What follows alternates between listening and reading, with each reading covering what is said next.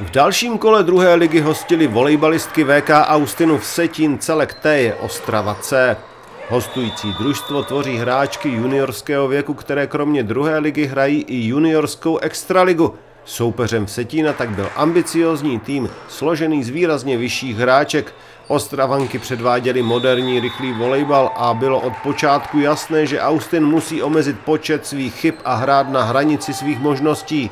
Domácí hráčky ve značně okleštěné sestavě podlehly v prvním duelu Ostravankám 0-3.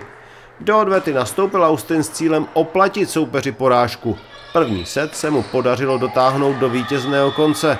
Ve druhém zaváhal, ale zbývající už nepustil a tak v Setín porazil Ostravu 3-1.